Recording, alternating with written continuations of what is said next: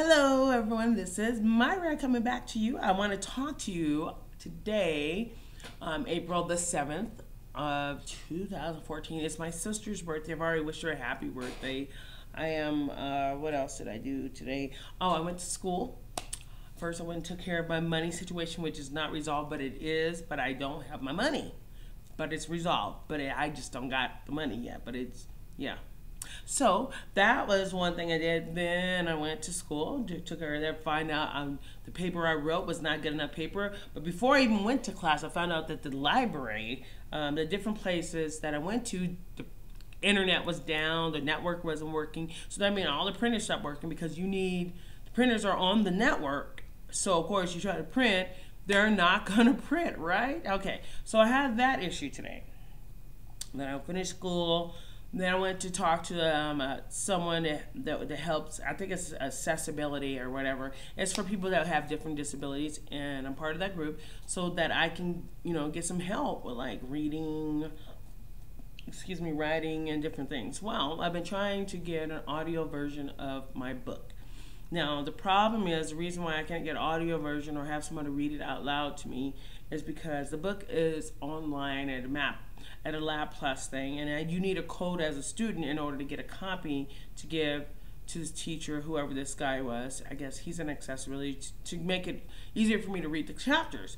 Well he couldn't get a copy of it because i need a code. I have to pay for the lab plus.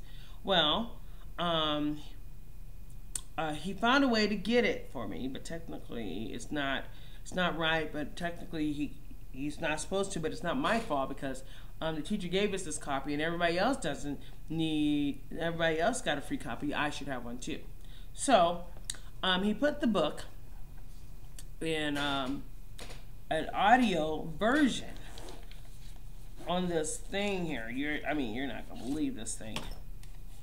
Check this out. It looks like a CD player. Hmm. Has some kind of software, firmware, or something like that. Um, he used the software to convert books into audio by people reading it.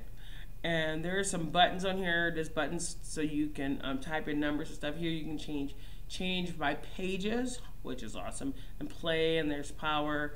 I mean, you can change the volume. You can change the speed of the person's speech.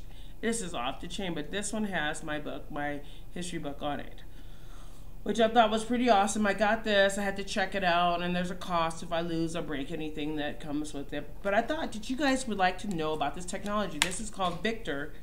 Um, I can't remember the company he said um, that makes um, the software, but um, there's a software company that makes the firmware. He called. He said it was firmware on here that makes it to where um, the whatever software he's using on his computer to make it oh, make it um, is on there's firmware in here to sync with it and what it does it takes the information in the files or the tracks or mp3s or whatever for each book and encrypts it so if you played the cd on the computer it wouldn't be in the right order or something like that it'd be all mixed up which who cares about the order if the mp3 is going to play and i can just arrange it myself i don't even care about that but he said um, this keeps it the way it's supposed to be. So with that in mind, I'm gonna use that device. But I thought you guys would want to know about this technology. This is insane, but who's ever heard of um,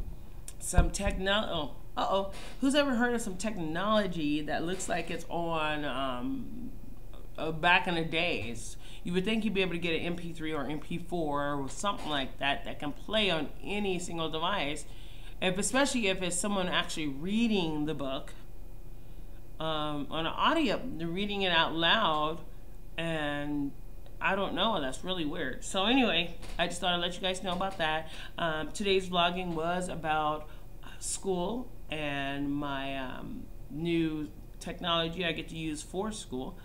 Um, also, this brought to you by my favorite chips.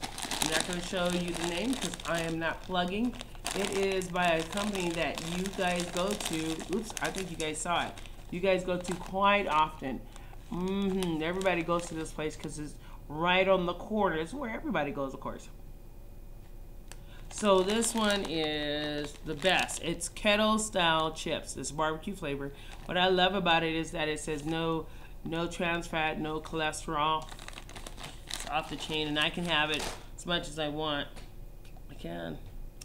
Um, if you guys have any questions or have any thoughts about my videos and what I'm putting in my vlogging videos, I got to put the word vlogging so that way um, YouTube would know that it's about vlogging.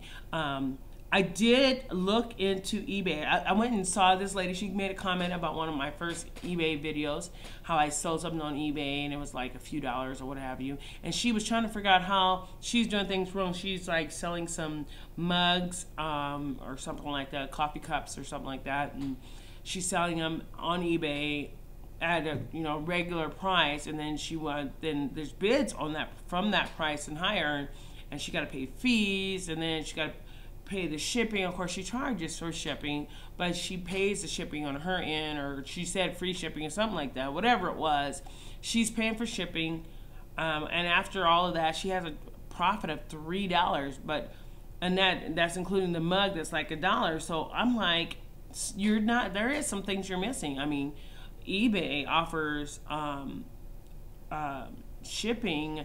Um, they offer not shipping they offer um, listings at a really cheap price. They have the listings at um, no cost or low cost or or whatever. They give me emails and it's like once a month or something like that once every few months.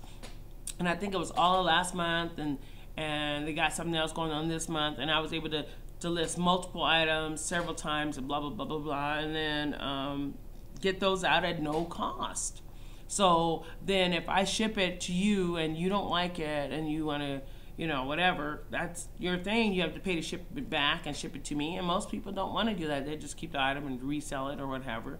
But um, usually I ship good products and I make sure my products are quality and there's nothing broken and that, you know, it's all packaged correctly so that if you get it and you don't like it, it's just, you just don't prefer it, um, you know, that's, I mean, I, you know, I'll give some kind of credit or something or have you return it within a few days. But I usually have the customers pay for shipping because I can't afford to pay for nobody shipping. But um, I just thought I would respond to her comment in case she looked at this video because it says eBay and she be, she's been looking on stuff that says eBay. Um, but yes, that's what my whole vlogging video is about. Um, if you um, like this video or you have any comments or any thoughts about it, go ahead and leave the comments below. Um, if you like it, go ahead and subscribe. Um, again, this is Myra. Today is April 7th, 2014. Hopefully I start doing more vlogs because I'm starting to get more comfortable and understand what I'm saying and um, understand a little bit about um, YouTube blogging. But, you know, I'm going to learn more and I'm to get more stuff. Um, I just want to make sure that people are aware of all the wonderful things you, um, you can do. So thanks again for stopping by and you have a wonderful, wonderful day.